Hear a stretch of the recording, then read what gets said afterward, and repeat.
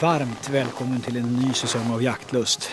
Ni är varmt välkomna. Här är det kallt, 22 minus och vi ska ut på toppfågeljakt. Det här tycker jag är jaktens Formel 1. Kanske inte just skogsfågeln för min del, men just att ut i vildmarken, bo på en fäbodvall, eh, verkligen kunna ha den här ensamjakten. Känna att man är ett med naturen. Det är verkligen jakt för mig. Och tjädern är ett fantastiskt vilt att jaga och orren också. Det finns många olika jaktformer. Men eh, den här är väldigt trevlig. Nu ska vi be oss ut på skoter först och främst i tre och en halv mil innan vi är framme vid destinationen. Jakt!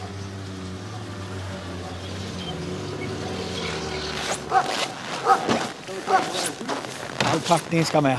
Mycket blir det när man ska vara borta några dagar så här. Och det är långt till civilisationen. Får vi se hur vi klarar kylan.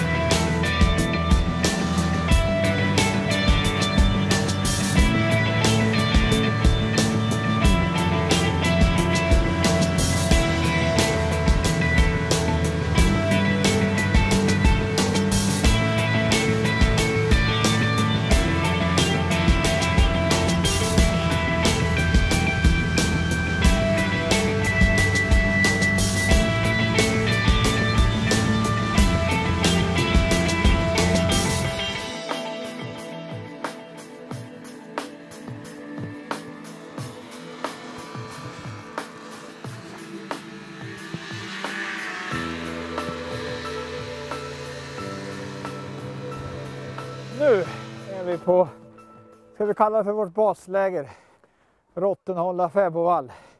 Ungefär minus 20 grader och svinkallt med andra ord men imorgon blir det bättre väder. Hoppas vi. Tidigt nästa morgon spänner jag och Anders Busk på oss skidorna och beger oss upp mot ett område som kallas Jonaskärnarna. Anders har jagat här sedan barnsben och kan de här markerna både utan och innan. Det är ungefär 5000 hektar och han känner marken bättre än de flesta. Det här är äkta svensk vildmark när den är som allra bäst. Passar mig alldeles utmärkt, långt från datorer, elektronik och mobiltäckning. Det är en Guds gåva att få vara ute så här i naturen, helt fritt, väglöst land. Och den här dagen som är så vacker. Kanske inte det absolut optimalaste toppfågelvädret men det är ändå så pass, så pass milt, skapligt milt, 10 grader så de kan sitta upp. Men det ska ju helst vara snöfall och några minusgrader, då är det som, som allra bäst. Och sen ska man passa på på morgonen, då är ju fåglarna hungriga och sitter och käkar på sina, sina matplatser, alltså sina betestallar. Och sen på eftermiddagen, vid kvällningen där så går de upp för att de ska kunna klara vi natten. Det är kallt om nätterna, ganska så kallt. Vi är 700 meter över havet och Anders och jag ska fortsätta skida på i Guds vackra natur. kommer en skidåkare till där. Tjena! Har du sett mig? Ja, en orre. Jaha. På Rottenhålla fäbodvall brukar ett litet gäng jägare samlas ett par helger i januari varje år för att jaga toppfågel och umgås. Fågel i topp jagas ju med klass 1 och klass 2-vapen. Det gäller alltså att ha järnkoll på var de andra jägarna befinner sig. Karta, kompass, GPS och radiokommunikation är hjälpmedel som är ett måste.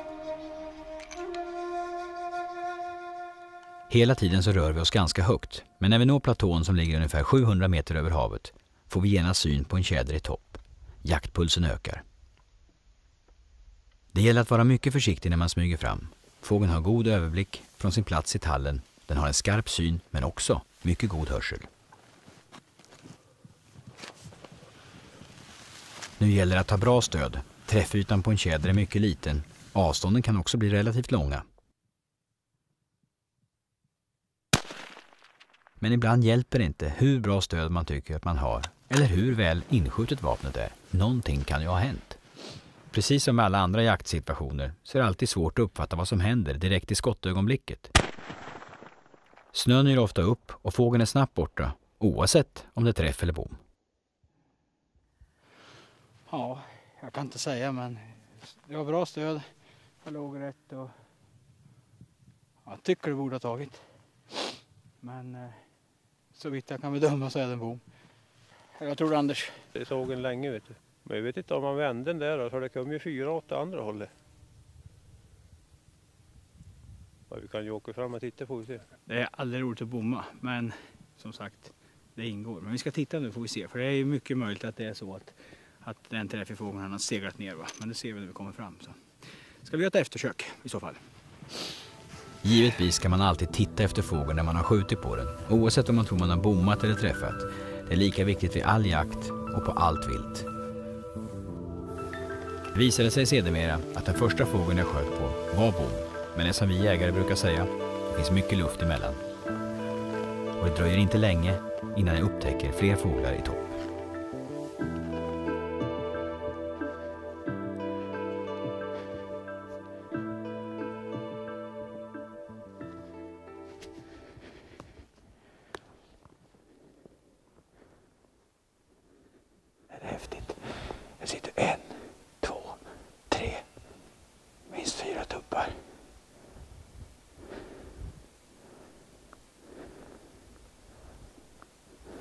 Det sitter fyra tuppar här efter kanten men det är helt öppet så det kommer bli oerhört svårt att ta sig in. Men vi ska försöka skida rakt på dem får vi se.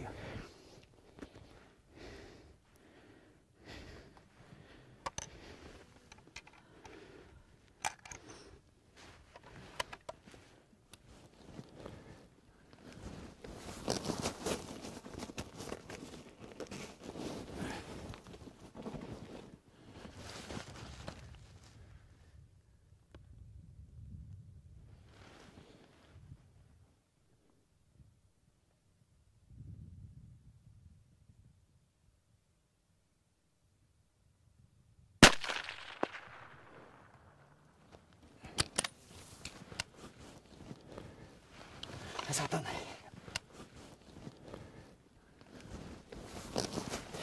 Det var 188 meter.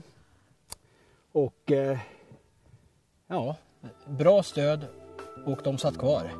Och till slut så gick det ju.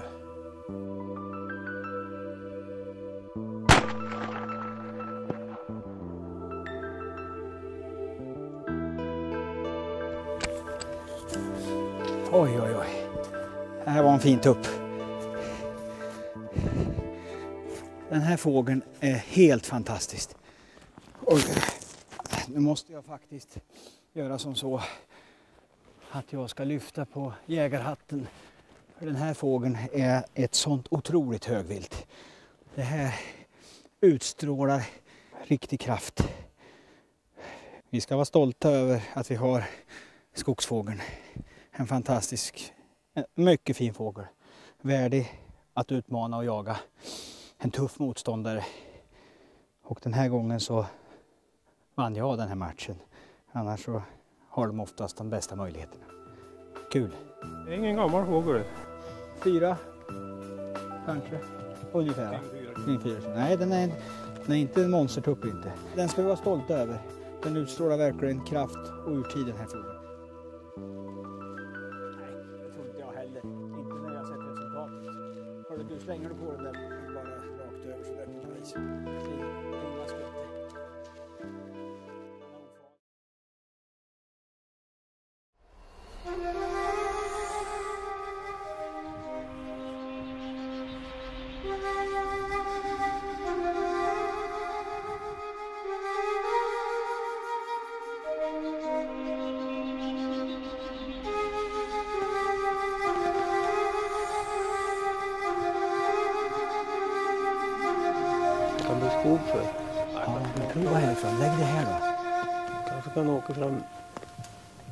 meter. Ja, gör det. Ja, har en tupp till som sitter. Ska Anders prova på den. Och jag fick det till avståndsmätare riktigt, riktigt bra när man är ute på sån här jakter. Jag tror att vi hade, eller jag vet att vi har 218 meter härifrån. Anders ska försöka ta sig in lite närmare. För att undvika upptäckt ska man vara mycket försiktig, smyga rakt fram och undvika sidoförflyttningar.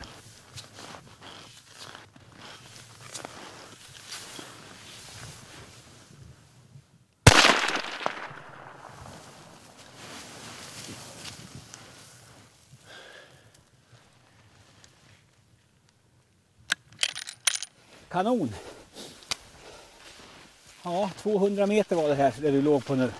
Exakt. Höll du lite högt i tuppen eller? Ja, Ja. det var högt, höll lite i överkant Ja. vad man ska sikta på. Hörde du, det var väl en bra, bra början på dagen? Eller? Mycket bra. Ja. Det ska bli så bra med det här vädret. Nej. Men det kanske är just det, kylan som har varit så länge. Nu är det lite bättre i alla fall så att de vill gärna upp.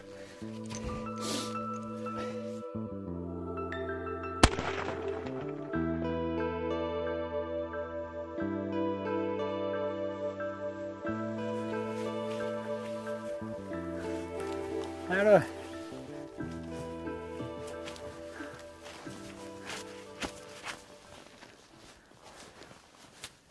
Ja, det var fint upp. Ja. Och så- Ser du böjen på näbben den här? Ja, han är lite större än där du. En gam gammal tuppare, de får ju alltid en liten böj. Här var Anders. Ja. Ja, Då ser man på den här att den har lite mer böj om man jämför med den som jag sköt som är lite yngre. Framförallt en bredare så här. Ja, just det. Jag känner. Den här är en fem kilo. Ja, det är en stor tupp. Varsågod. det är bättre att skjuta mindre tuppar. Ja, det är det. Det är lättare att I alla fall när jag ska åka hem. Det.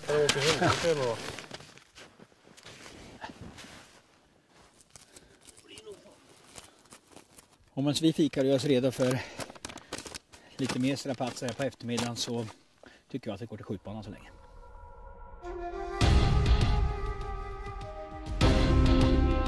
Något som vi jägare verkligen fördjupar oss i det är de ballistiska egenskaperna på vapnet.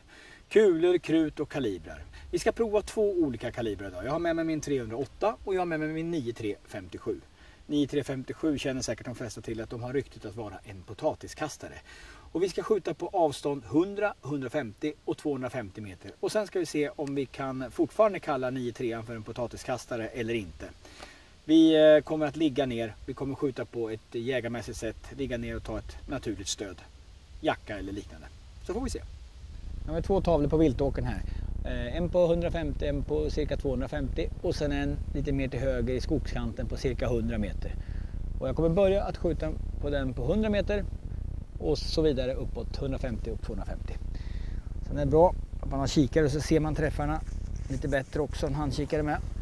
För den riktigt ballistiskt intresserade, får vi kalla det för nörden, så finns det mängder av saker att göra för att öka precisionen optimalt. En sak som ökar precisionen det är faktiskt ljuddämparen. Inte bara att den tar bort delar utav ljudet utan den ökar faktiskt precisionen också. Dessutom tycker jag att det här är väldigt positivt framförallt för nyblivna jägare där man kanske i början har en tendens att ha lite skotträdsla. Så ljuddämparen är bara av godo. Det ska sägas också att ljuddämparen måste man söka licens på. Det är en licenspliktig del. 11 grams kula.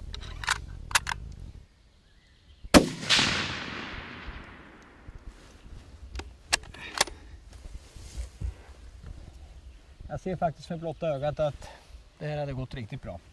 Nu kommer jag vrida mig till 150 meter så får vi se. Jag kommer hålla på samma ställe, mitt i bogen.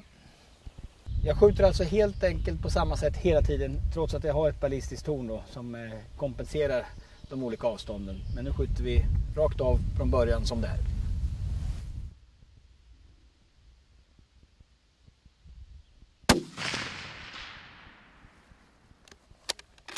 Nu närmare 250 meter.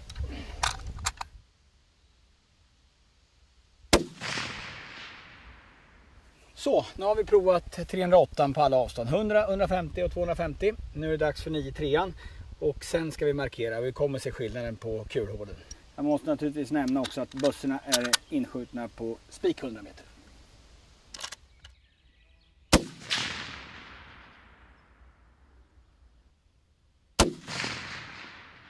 Dammet hinner knappt lägga sig förrän vi kör på nästa figur. Älg på cirka 250 meter. Hualigen.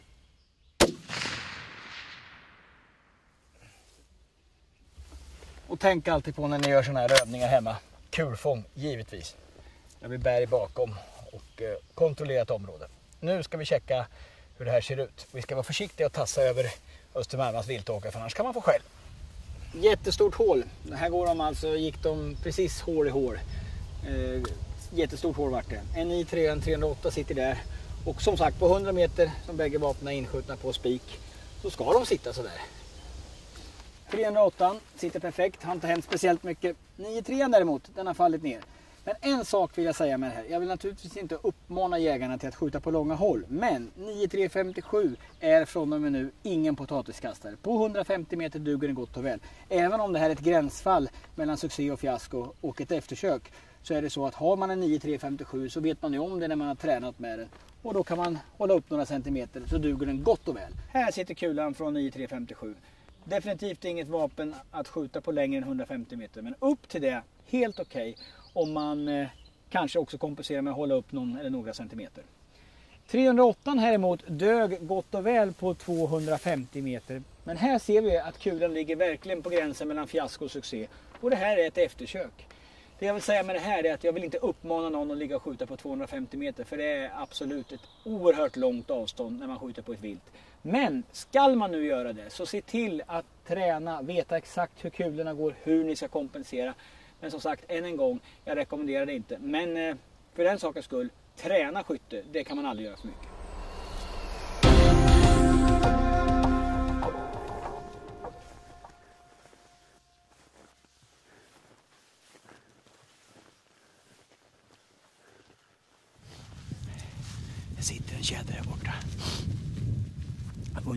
Ungefär, ska tippa på 150 meter. Men jag tar ett annat inte bara nödvändigt hjälpmedel utan ett måste vid den här jaktformen, det är en bra handkikare. Naturligtvis ett väl inskjutet vapen och gärna en avståndsmätare.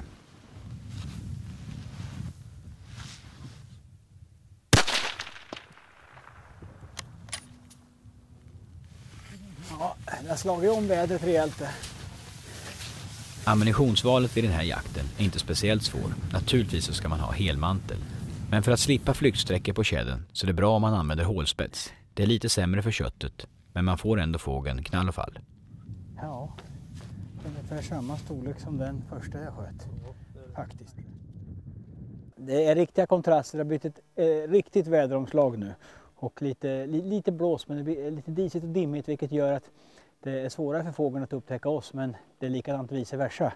Men här kom vi in och fick se, det var fem eller sex tuppar som satt ganska nära varandra.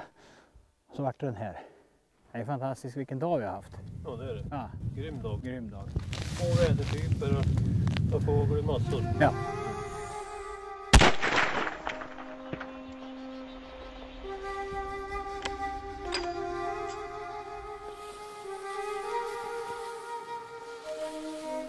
Jag hoppas inte Stenmark ser det här. Ja, nog är det vackert alltid. Det var som igår kväll när stjärnhimlen var alldeles klar och jag stod och pratade med våran värd Anders Lindqvist, våran jaktvärd och så sa han så här, tänk dig Thomas imorgon när du kommer ner för brasten här med två tjädertuppar på ryggen och så ryker det från vedbasten. Och det är exakt så det vart. Jag kommer här efter en hel dags skidåkning med två tjädertuppar på ryggen och det ryker fast faktiskt. Fantastiskt.